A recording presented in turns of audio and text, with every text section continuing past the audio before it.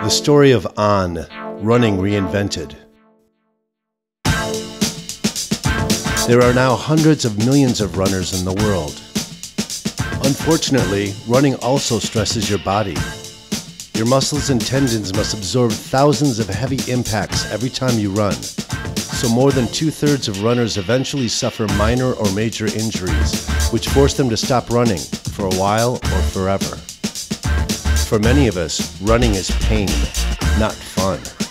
One of these runners with serious problems was a Swiss engineer.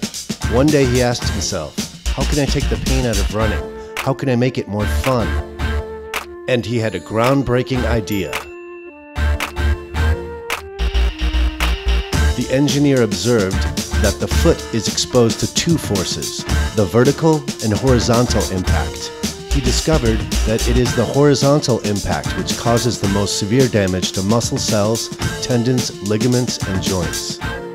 Oddly, existing running shoes only absorb the vertical impact. He wanted to build a running shoe that would enable the runner to land as soft as on sand and to push off as running in track shoes. Today's running shoes are built to stabilize, guide, and control the foot in its movement. The negative effect is that your postural muscles become lazy and even degenerate. A better support system, the engineer thought, would be a shoe which activates your postural muscles and involves them actively in the motion of each cycle of every step you take. So, what was his idea? The engineer created a very simple yet highly functional shock element, piece of circular rubber which can absorb both the vertical and horizontal shock. As your foot impacts the ground with forward momentum, the element absorbs the shock by folding back, effectively allowing your foot to softly glide into every step. After landing, the element locks together and is fully firm for the push-off. We call it the wave step technology.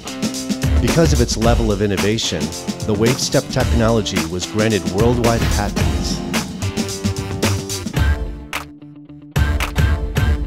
One of the first runners to take interest in the invention was world-class triathlete Olivier Bernhard. The three-time world champion and six times Ironman winner was recovering from an injury which threatened to end his career. Olivier ran thousands and thousands of kilometers testing and improving the shoe finally bringing the invention from the drawing board to the road. And the shoe started a movement. More than 2,000 runners joined the new experience. Some call it like on clouds, light, like on pause, like on a forest trail. It is a new running movement that goes around the world. We call it On. There has been very little true innovation in running in the last 15 years. It is all marketing, and most running shoes look like tuned Japanese cars with a lot of gimmicks. On is going the opposite direction. Running on stimulates your body, lets you run easier, and discover more. On is a new switch to turn on the fun. But don't take our word for it. Try it on.